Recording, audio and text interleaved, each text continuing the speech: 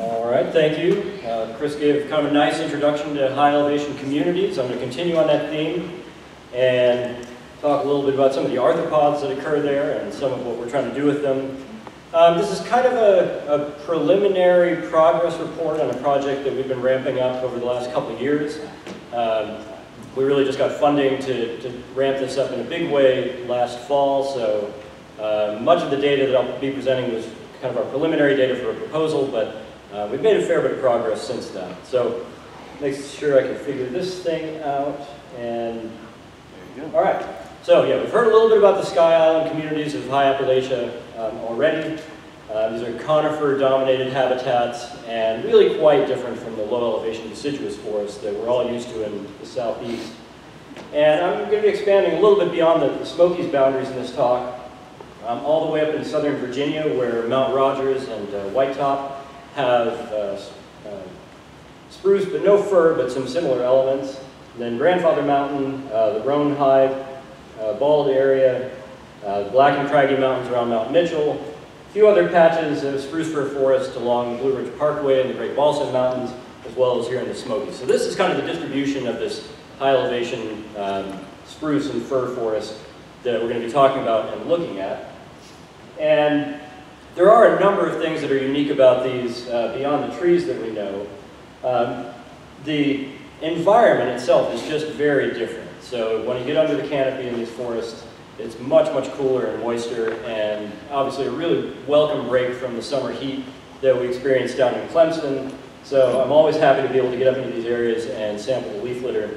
I want to mention this is my collaborator, a guy named Paul Marek, a professor at Virginia Tech University. He's a myriapod specialist, mainly millipedes, um, and uh, he, he, and I have developed this project together and been working together on a lot of the, the field work and the data analysis. And he's not really clearly demonstrating our main uh, collecting technique here, which is sifting. So we get down into the leaf litter and we have a big sifter. We lump all this litter into it and shake it through about a centimeter mesh.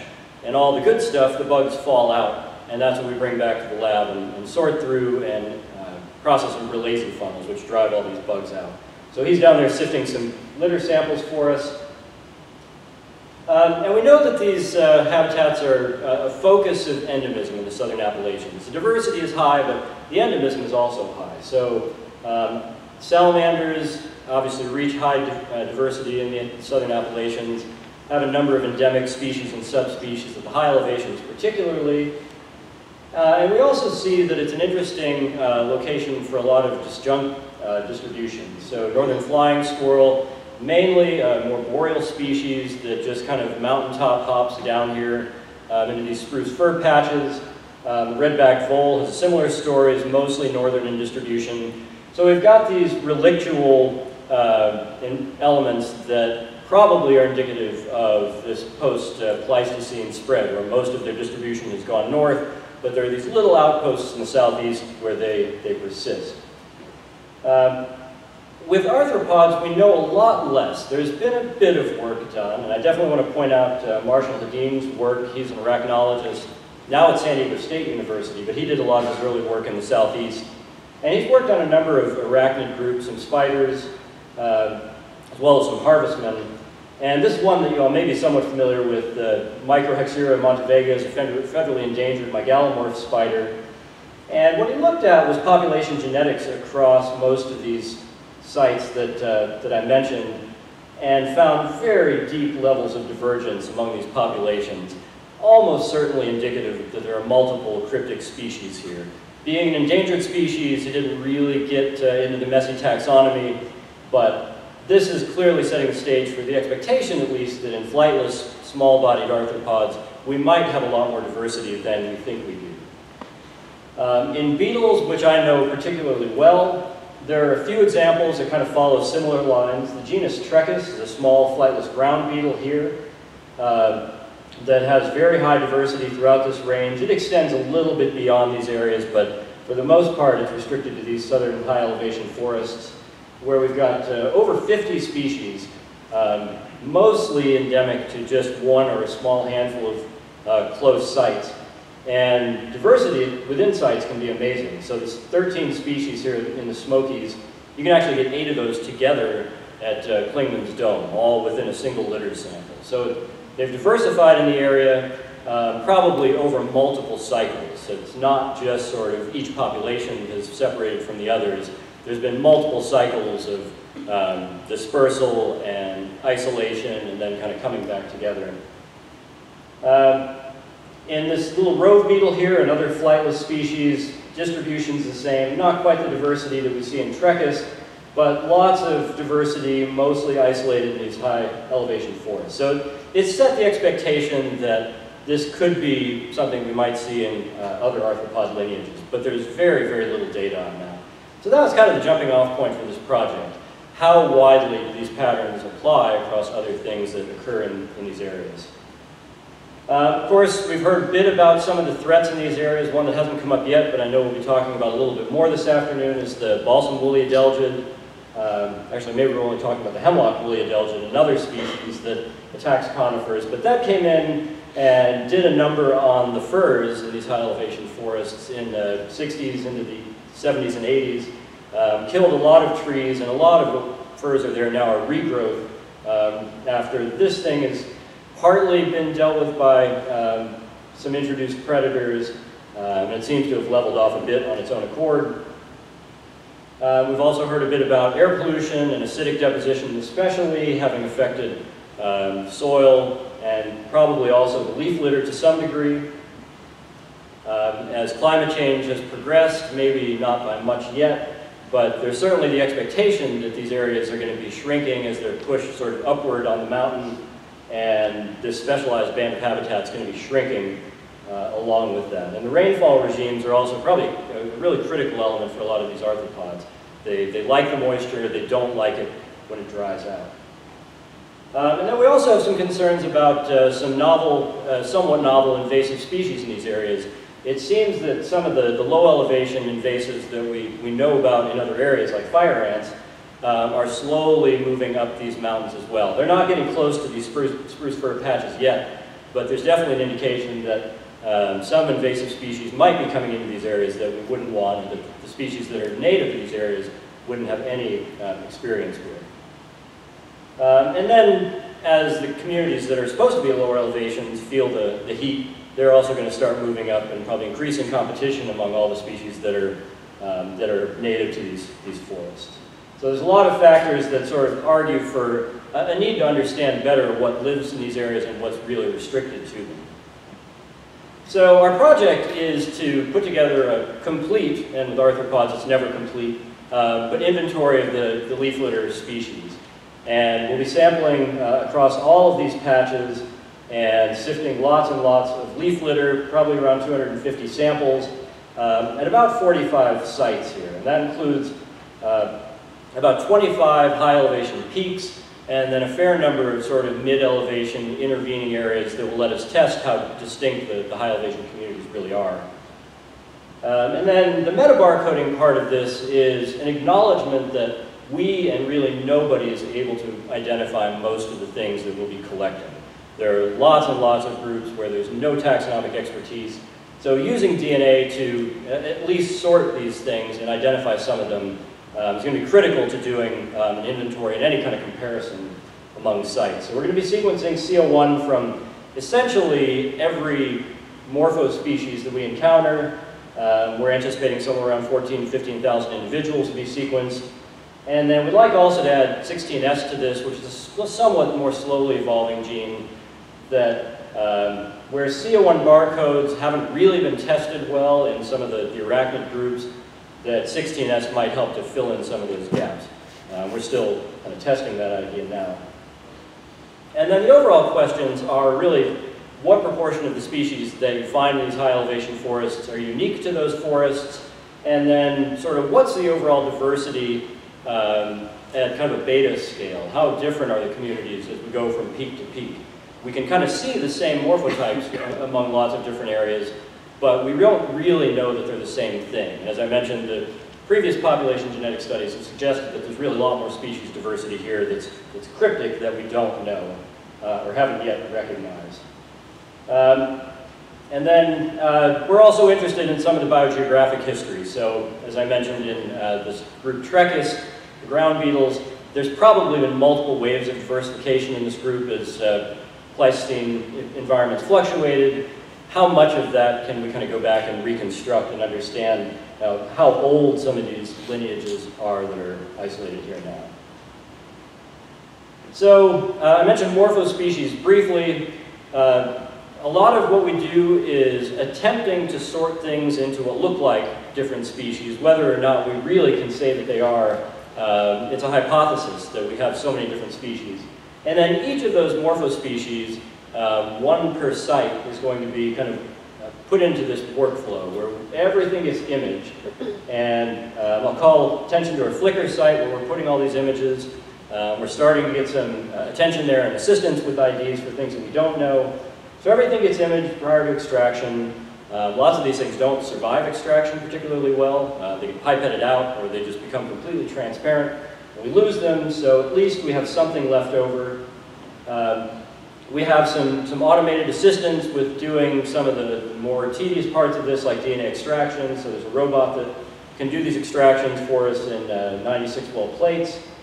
And the, uh, the meta part of this barcoding is really that we're lumping a whole lot of stuff together and taking advantage of the efficiencies of high throughput sequencing to sequence thousands of things at once, um, much beyond what we could do in kind of a traditional Sanger sequencing approach. And what lets us do that is that each of these morphospecies that's going in gets tagged with a specific index, um, also sometimes referred to as a barcode, on the ends of each sequence, which will let us pull them back out and then we know exactly which specimen they came from uh, to begin with. So we can lump it all together, sequence it at high efficiency, but then tease it all back apart and figure out what sequence came from what um, afterwards. Uh, of course, we'll be using Illumina sequencing for most of this. Um, probably aren't super interested in all the bioinformatic details. Lots of analysis to figure out what was what.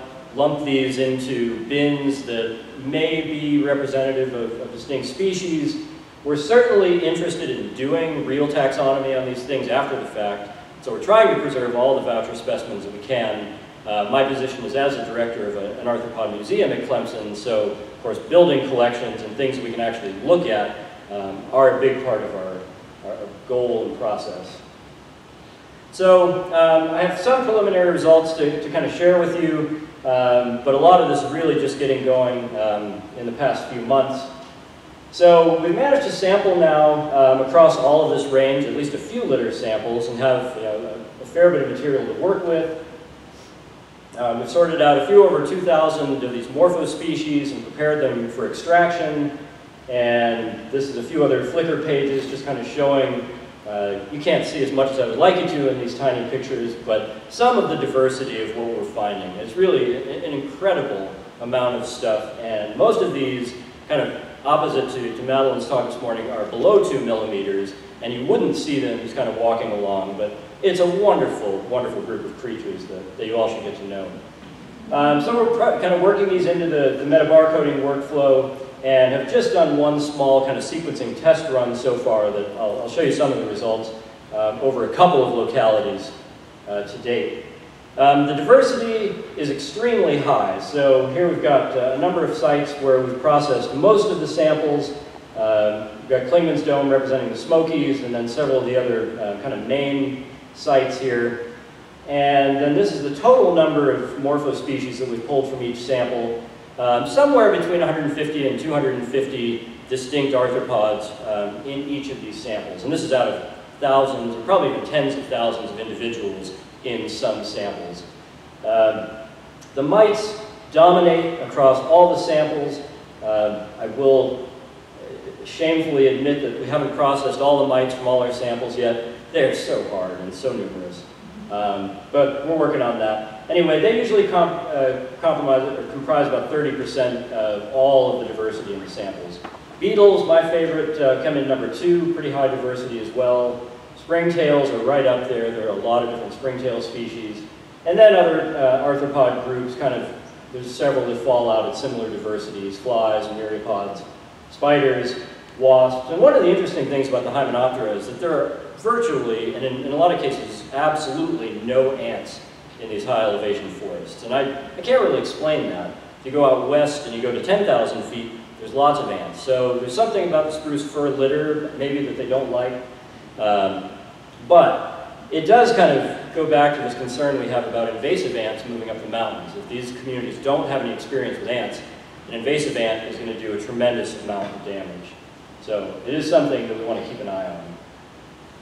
Um, as far as the, uh, the molecular data go, this big tree here, I'm just going to point out a few particular things, and those are some uh, interpopulation comparisons among a few morphospecies. So there's 125 things in this tree, uh, and we've got some 16S data. Mostly this is CO1 at this point. Um, but we did have a number of pairs of morphospecies where we, saw, we thought we had the same thing from both of these um, sites. And that's what these percentages over here are showing. So for a pseudoscorpion, we've got uh, about 16% divergence between populations, and generally very high, you know, 8 to 10% or more divergence. Ignore that one for the moment.